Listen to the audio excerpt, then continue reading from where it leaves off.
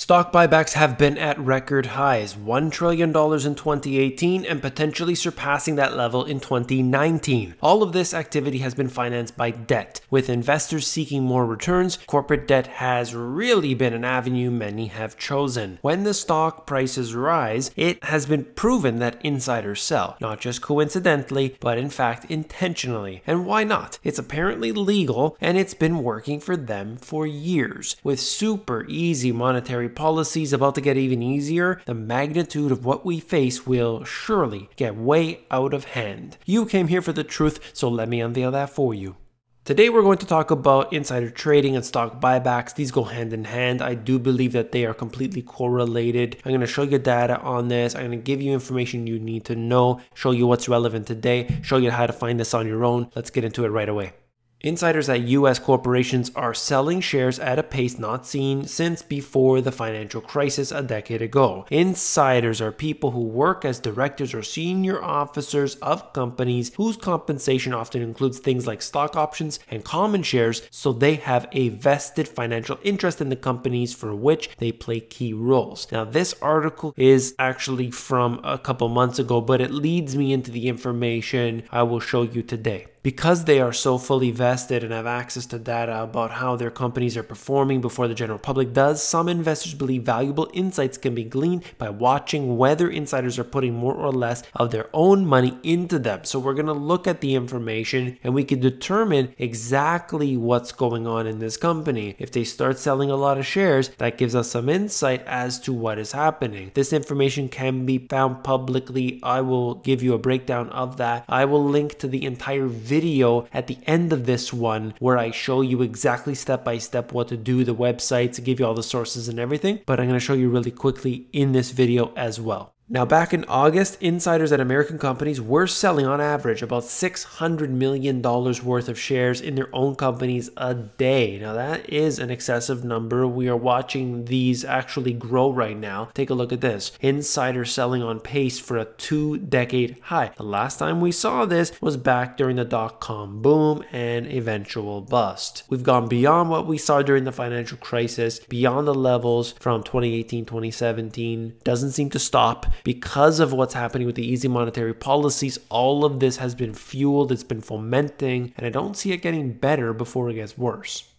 Here is one recent example. I'm sure you saw this in the news. Travis Kalanick sold about 20% of his stake in Uber last week. He sold 20 million shares. That's worth about a half a billion dollars. Now, here they're talking about the 180 day lockup. They give you all the specifics about it. This is just one example. I'll show you many more here, but this is one particular company where people have really been burned. If they've bought in at the beginning, they've watched this stock take a serious beating, just like so many of the other IPOs that we've seen in 2019. Not many have really worked out. And that has given a lot of these investors some food for thought. Have we reached the peak cycle? Have we gone into a territory where maybe it isn't so wise to throw money at these companies in the way we do? Maybe we should be a little bit more conservative and so on.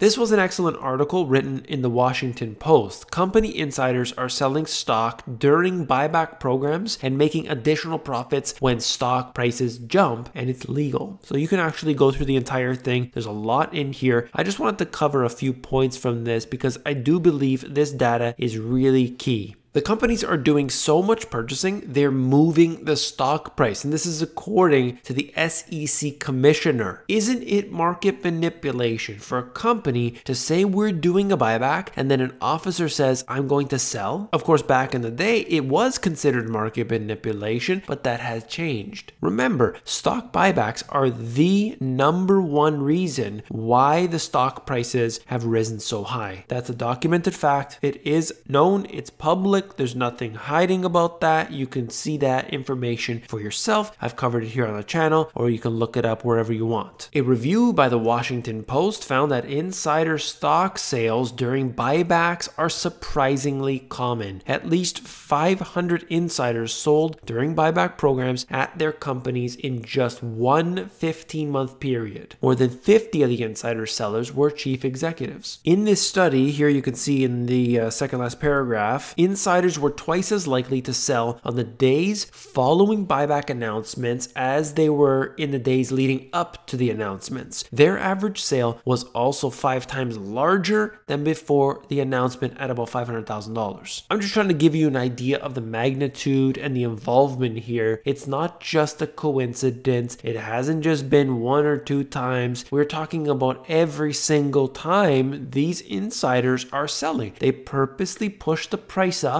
and they sell some stock. And this is how they finance their lives and whatever they want to do on their own time, that's totally fine. But we have to start addressing the entire cycle here. How is this all working? How does it come full circle? We have easy monetary policies by the Federal Reserve. We have these companies issuing debt. They are able to fund these stock buyback programs because of those easy monetary policies. And then you have massive stock buyback programs that the insiders are able to take advantage of. And guess what? The CEOs and all of the executives are the ones that benefit most directly, absolutely directly from what the central banks are doing. Most people will not recognize that because, like chess, there's a few moves in between here and there.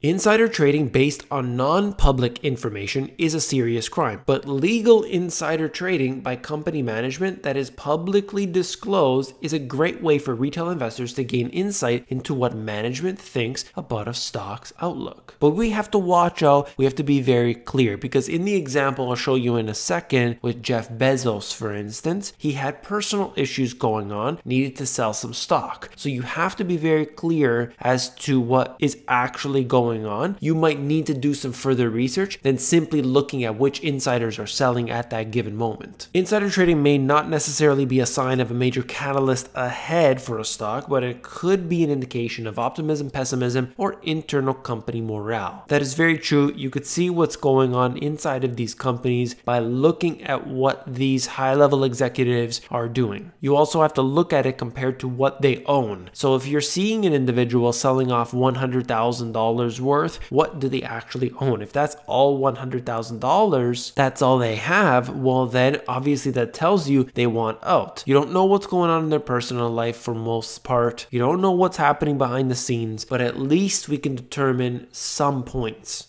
You can see the level at which this has moved, and it isn't a good sign when you see more and more buybacks taking place over the years. It has gotten to an extreme level, and there's no telling, absolutely no telling, how far they are willing to go with the easy monetary policies getting even easier. This is Open Insider, and you could break this down. There's a whole bunch of criteria you can set. It would output this list in front of you. I just chose the last three months just to give us an idea. You can scroll through this list. You may recognize some of the companies or some of the people. For example, in here, you have Kraft Heinz, and the amount is $700 million worth. You could see who the insider is. It may not necessarily be a person, it might be a company, it might be a fund. All that information is listed here or at the very very bottom of the page. You could see the individual from Uber also in here, $500 million worth. Keep scrolling through just to get yourself familiar with what's happening with these particular insiders and what they are selling exactly. If you have any interest, of course, you could either pause the video if you see something or just go to the link in the description. You'll get that. At the end of this video, like I said, I will be giving you the full breakdown in another video I have already done as part of my e course showing you step by step what to do, but this just gives you an idea here. We're talking about big, big sales in many cases. And then from there, that leads you down the trail where you start to research as much as you can about this person. Are they having any particular marital issues? Are they having problems with the company? Have they just left the company? Are they still with the company? What's their status currently? So many questions to be answered. But if in a percentage basis, it looks like there's a very big concern, then suddenly we have to start worrying about that company for some reason. Then we have Market Beat, which will tell us the stock buyback announcements that have happened so far. We can see all of this information in this list. It tells you the amounts, it tells you what the 52 week range is to give you an idea of where the stock had been priced given the current price. Maybe that will tell you something. Is this moving up in a trend? Is it on a downward trend? What exactly is going on? Some of the companies in here, like Microsoft, like Lockheed, like Intel, all the big names, you could see the amounts on here here as well. It's just interesting to say the least. I do have a video about how to see this for yourself, but you can check it out at Market Beat. And there are so many others out there as well. So many different companies that will list all this information for you because often I see that there are articles written about this type of data and, and you're never going to get the whole thing. You want a list and you want it updated regularly. This website happens to be one of those. Now, for my friends in Canada, I know that information is hard to come by often. Canadian Insider will give us some information. It's definitely not as good as some of the other resources that we have out there. But if you want to check out some information related to Canada's insiders, you could see it here, CanadianInsider.com. They have some free information, others are paid. This is just in a quick search that I've done, but of course, you could see this for yourself. There's there's many other resources if you want to take a look online. I'm sure you'll be able to find what you need. This happens to be just one of them. And bringing me back to my initial point here, all of this stems from the easy monetary policies. Right now, I'm just showing you the repo operations because it's relevant today with what's happening with the whole QE4. It didn't announce QE4 officially, but actually it is QE4. We all know that. And this is really the root cause. I see a lot of individuals and of course the mainstream media who completely deny this fact. I don't understand why this has been going on for a long time. If you just simply read the history, you'll be able able to figure that out. Doesn't take a genius, that's for sure. I'm certainly not a genius myself, but I just read the history, I read book after book after book, and I saw the failures. Over time, you see that they make the same mistakes over and over again. Whether it's arrogance or whether it's intentional, ultimately the end result is the same, and that is they fail the people, they fail the public, and they take from them time and time again. And when you see that they're talking about this permanently high plateau, that they say this is never going to happen, we are never going to have a crash ever again. We figured it out. That's the time when we need to worry. That's all for this video. If you found it informative, smash that like button. Hit that thumbs up button. I do appreciate it very much.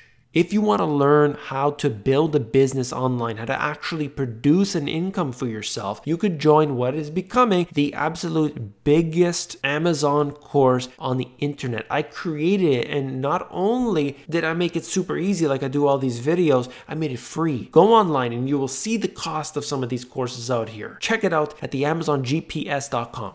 If you're interested in learning about the financial system, about the central banks, about how interest rates work, about the history, the foundation, everything in between, then you need to see these two books. Okay, if you go over to Amazon, link in the description, you will be able to actually flip through the pages for yourself to see if you like them. If you're interested in the audiobook instead, you can get that at themoneygps.com. Well, hello, you made it to the end. Thank you very much. If you want to see that video, all you got to do is click on this link. It'll bring you over there. This is part of the e-course. So many informative videos in here, and I'll see you over there.